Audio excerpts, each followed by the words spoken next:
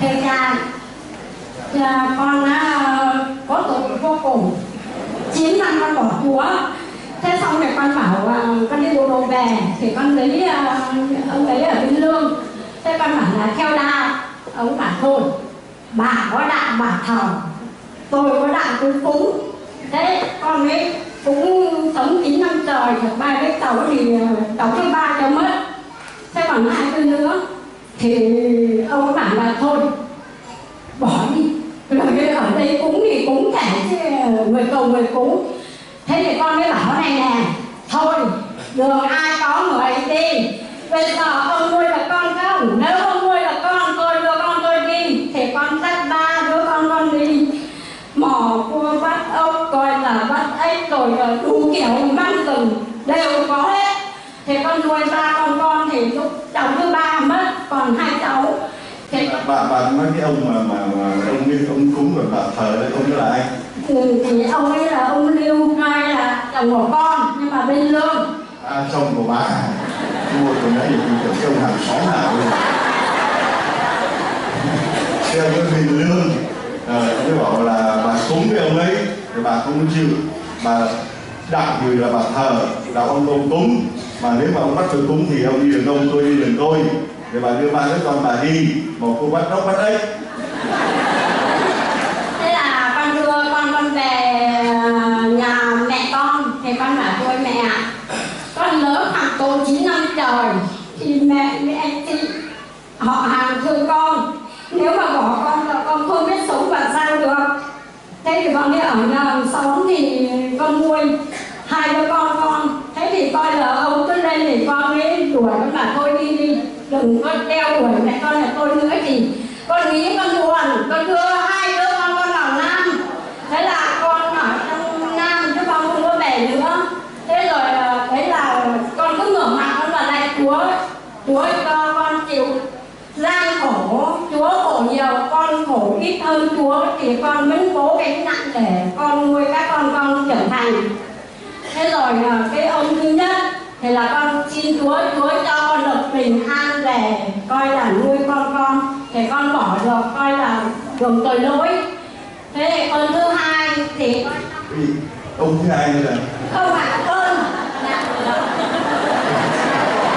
ông thứ nhất ông thứ hai chất của mình thôi Chứ không phải là đạo tình thương cái ơn thứ hai nữa thì con có đứa cháu dâu thế là cháu ờ, 2013 12 thế cháu bị tai nạn thì con cũng có biết số điện thoại của cha.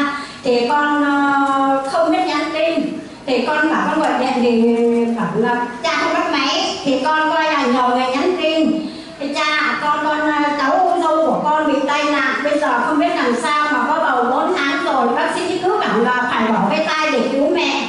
Thì coi là con ờ, có nói với chị con bảo là, bằng mức độ nào dùng chúa để cho chết thì cả mẹ lẫn con còn rất khoát chị không cho cháu là coi là theo bác sĩ để mà hoại cái đứa thai nhi thì đến tội thế thì con có nhiều người nhắn tin cho cha, thì cha nhận được tin nhắn thì cha bảo rồi, thôi con biết nhân trí thì con không có lo gì cả, cha với cộng đoàn sẽ cầu nguyện cho thế rồi đấy là cái ơn thứ hai cái ơn thứ ba thì coi là con con 2014 thì coi là cháu bị tai nạn coi là một cái đùi gãy gãy làm hai đoạn thành ba đoạn đùi thì bây giờ cháu ba mặt đùi thì coi là ba đoạn đùi thế là con ờ, thấy bác sĩ bảo rằng là thôi gia đình cứ tâm lý đi chứ bây giờ hơi khó thế thì con cũng nhờ người nhắn tin cho cha thì cha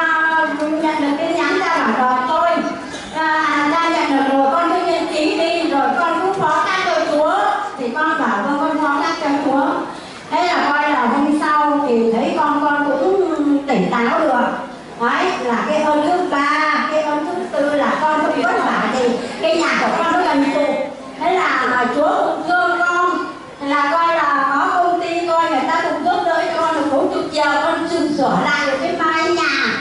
Yên tĩnh đấy là những cái ơn đó là con được thực tế là chúa thương con và con phó thác cho Chúa con cảm ơn Chúa và